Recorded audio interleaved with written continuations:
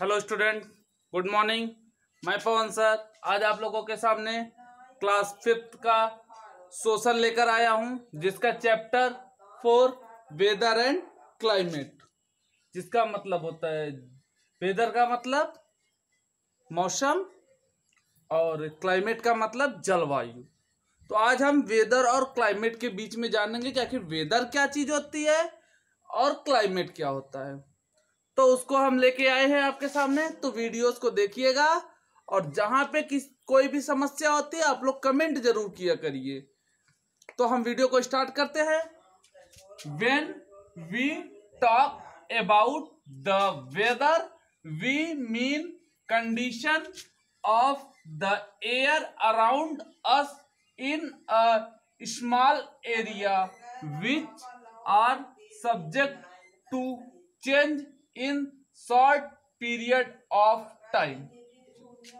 कहने का मतलब जब हम बात करते किसकी? वेदर की।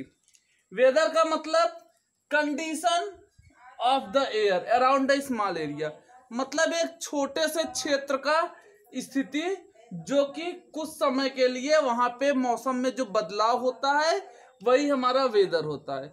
Short period of time. मतलब कुछ समय के लिए जो उस जगह पे बदलाव देखा जाता है, जैसे लाइक एज अभी आपके यहाँ पे धूप है, थोड़ी देर के बाद एकाएक मौसम बना, बारिश हो गई, फिर धूप निकल गया। थोड़ी देर के लिए जो बदलाव आया, बादल आया, बारिश हुई, यही हमारा वेदर है।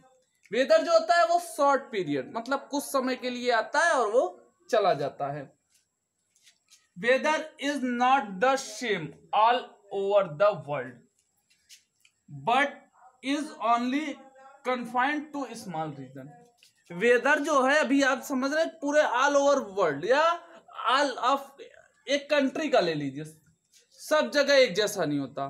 जैसे अभी एक किसी जगह पे बारिश हो रही है तो कहीं पे अभी धूप निकला, आप पाँच दस किलोमीटर का ही डिफरेंस में देख लीजिए। पता कर सकते हैं आप लोग जैसे करते हैं कॉल के माध्यम जैसे यहाँ पे बारिश हो रही, आप पता किए दूसरे जो हमारे डिस्ट्रिक्ट है, वहाँ बारिश नहीं हो रही।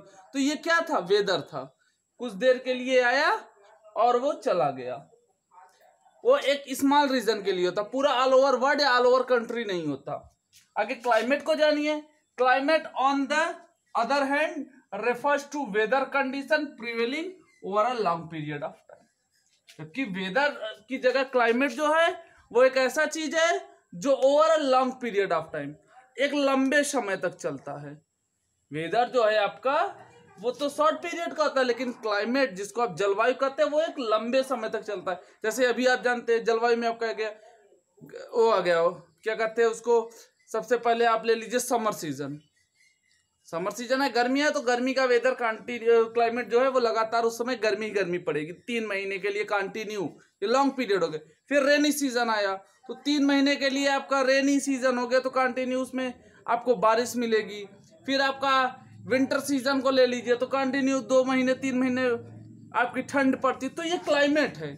मतलब एक ओवरऑल लग, जैसे अब ये नहीं है कि गर्मी के महीने के बाद आपका एक कंफर्म रहता है क्लाइमेट कभी विंटर आया तो विंटर के बाद आपका समर आएगा, फिर रेनी आएगा, ऐसे कंफर्म रहता है। लेकिन वेदर कंफर्म नहीं होता। अभी ठंडी के महीने में एकाएक बादल बना, बारिश हो गई। तो ये हमारा कंफर्म नहीं वेदर हमारा कंफर्म नहीं है, लेकिन क्लाइमेट जो है वो हमारा कंफर्म है। Unlike weather climate does not change मैंने बताया, जैसे वेदर तो थोड़ी समय के लिए बदल सकता है, लेकिन क्लाइमेट हमारा नहीं बदल सकता in case there are some changes they occur over a long period of time इसीलिए कहा जा रहा है कि इसमें थोड़ा सा केस में चेंज हो।